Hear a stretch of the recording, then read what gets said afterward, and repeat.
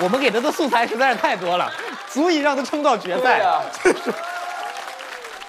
我我我感觉这一季我走到这儿就到头了，因为他们老说我稿子不行，说我没有攻击性，我也不知道怎么才能有攻击性。你说我有啥攻击性啊？我在台上打鸣儿吗？他是出了个谐音是吗？你看，我就说我像王建国吧，跟裤衩背心根本就没有关系。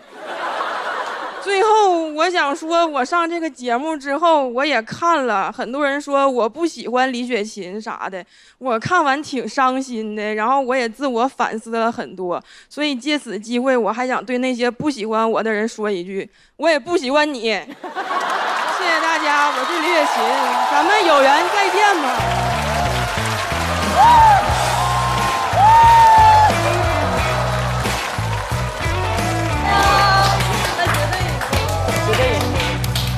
太强了，豆豆选错了吧？